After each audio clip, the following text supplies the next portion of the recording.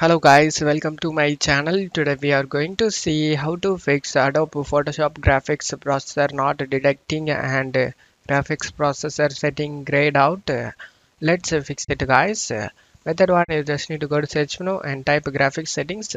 Click on open it. Select the browse option.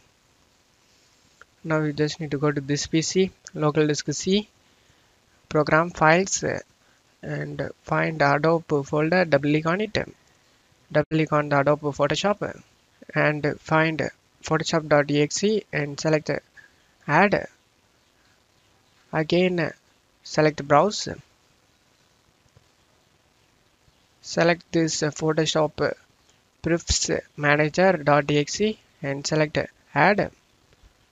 Select options and select this to high performance and do the same for Adobe Photoshop. Select options and uh, select high performance and select save. After doing both just need to close stuff here. Now you can check if the problem solved or not. If not let's to the method 2 guys. Method 2 go to search menu and type file explorer click on open it. Go to this pc local disk c program files adobe folder for adobe photoshop and scroll down and find sniffer you just need to right click on it